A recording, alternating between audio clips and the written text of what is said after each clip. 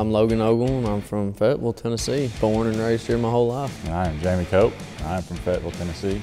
This behind us is a BIK 126. It is a knuckle boom crane that is got 126 foot of reach and it's got a grapple saw attachment on it that when it opens up, it, it's called a knuckle, so it's kind of like your knuckles. When it opens up, you can add a grapple saw to it, sitting from this chair right here with a remote. You can take down a tree one piece at a time.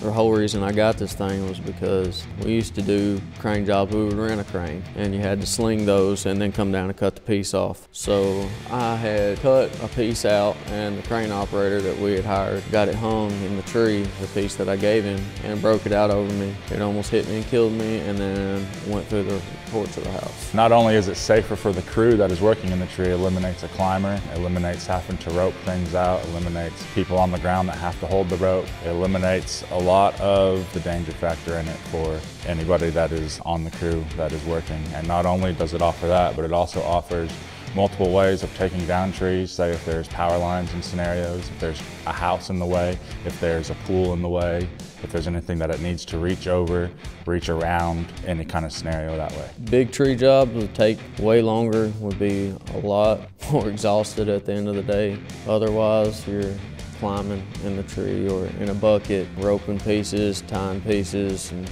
moving the heavy stuff yourself.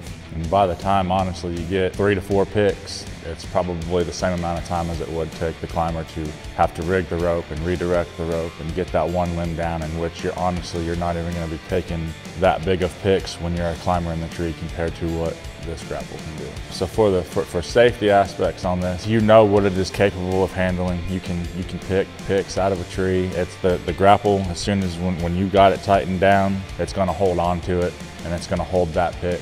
As long as you're not overloading the crane and you're understanding the crane, which we are both certified crane operators. So if you understand and know how to read the charts and know how to run the crane, there should be no problem at all. And it, it, it will absolutely take down a bigger tree faster than it takes with a climber in a tree and people on the bottom roping down each limb. And not to mention either, when you're taking the piece, if, if, if there's a house here and the crane's here and your backyard is back here and this is where the tree is at, if you have a climber in the tree and you're roping it down, you're gonna have to rope it down on the ground and then a machine is gonna have to drive around your house, pick up that piece. So you have to have extra people. With the crane, you just pick it and you bring it right back here to the street where you're working from. So you, you can eliminate a lot of factors and you're taking that three-step process of when there's someone in the tree and just turn it into a one-step process.